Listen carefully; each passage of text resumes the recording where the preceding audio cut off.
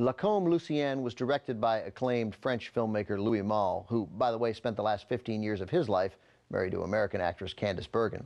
Much of Malle's motivation and quite a few of the details in the story came from the director's own experiences growing up in France during the Second World War. Years later, Louis Malle returned to the same subject matter with his 1987 semi-autobiographical Au revoir les enfants, in English, Goodbye Children. If you enjoyed this film and like to see more from director Louis Malle, I can strongly recommend Au revoir les enfants. Pops up on our schedule here from time to time, so keep an eye open for that or check tcm.com. Coming up, we have critic Elvis Mitchell talking with actor Edward Norton about the classic films that influenced him in a 2008 installment of our original series, Under the Influence.